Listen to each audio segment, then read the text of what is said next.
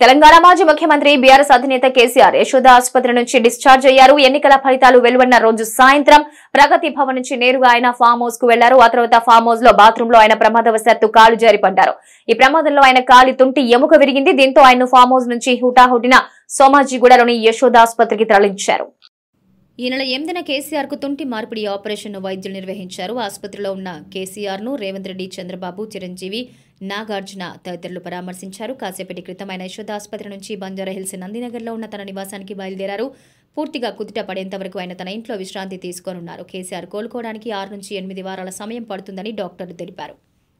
క్లిష్ట పరిస్థితుల్లో దేశం నలుమూలల నుంచి తన తండ్రి బీఆర్ఎస్ అధినేత కేసీఆర్ పట్ల ప్రేమ అభిమానాలు కనబరిచిన వారందరికీ ఎమ్మెల్సీ కల్వకుంట్ల కవిత కృతజ్ఞతలు తెలిపారు. ఈ మేరకు ఎక్స్ వేదికగా ట్వీట్ చేశారు. కేసీఆర్ ఇటీవలి కాలు జారి కింద పట్టడంతో యశోద ఆసుపత్రిలో చికిత్స పొంది ఈ రోజు డిశ్చార్జ్ అయ్యారు. ఈ క్రమంలో ఆమె ట్వీట్ చేశారు. ఆపరేషన్ విజయవంతమైన తర్వాత ఈరోజు రోజు నాన్న డిశ్చార్జ్ అయ్యారు. అన్ని విధాలుగా సహకరించిన డాక్టర్లు నర్సులు ఇతర సిబ్బందికి ధన్యవాదాలు.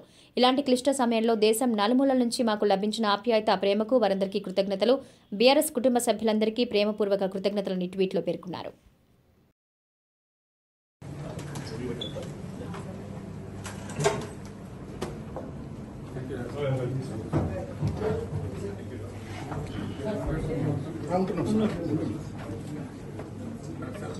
అయ్యే మీరు మీరు మీరు